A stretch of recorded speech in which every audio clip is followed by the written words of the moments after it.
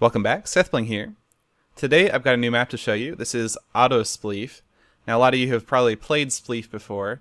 This is a version of vanilla Minecraft that automatically resets. Uh, with me I've got Pause Unpause. Hello Pause. Sup?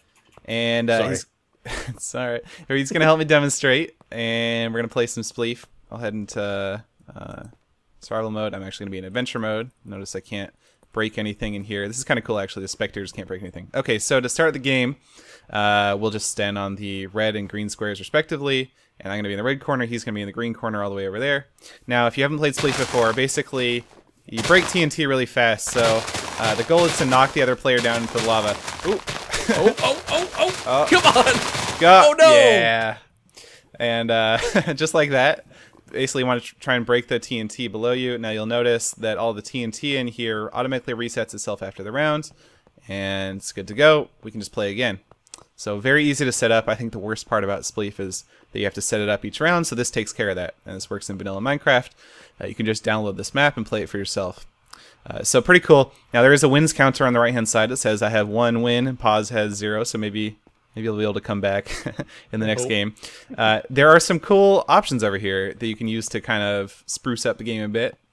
And uh, there's speed boost, jump boost, invisibility, nausea, and blindness. So I'm just gonna go ahead and turn all of these on. If you'd like to help me, you can. You just stand on the stand on top of the uh, the square to toggle it. You can toggle it both on and off. You notice I can turn it back off here.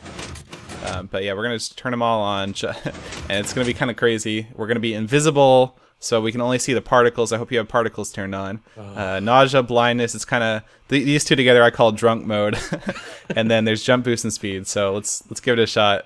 This It's is gonna, gonna be crazy. It's gonna be pretty crazy. But you can turn any of, of those on or off that you want. And well, that was a crazy, crazy count. Oh and so we have speed. If you jump, you'll notice you actually can't see the ground below you, so that's kind of crazy. Got that nausea going on. Hope none of you are motion sick watching. Uh, of course, he's invisible, so I have to look for the particles. Oh no no no! Did you just spleef yourself? I hear that lava. ahead of me. so there you go.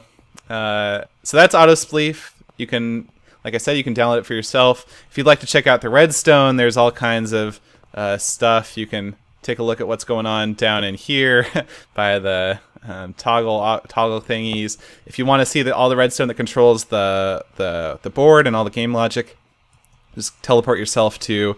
Uh, a thousand sixty four zero, and you'll you'll be able to tel- teleport yourself there. So you can check it out for yourself if you'd like to know how everything works. Um, and it uses my structure spawner filter to respawn all the TNT in.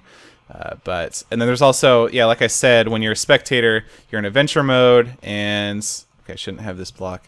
Um, and you can't break any of the blocks. That's kind of cool. There's these invisible iron doors that I showed in a previous video that prevents you from exiting or entering the arena and it, it just generally generally works pretty well, and it keeps track of your wins and and uh, and everything. So, hope you enjoy the game. Thanks, thanks, Pause, for helping me demonstrate the game. Be- better luck next time. I know.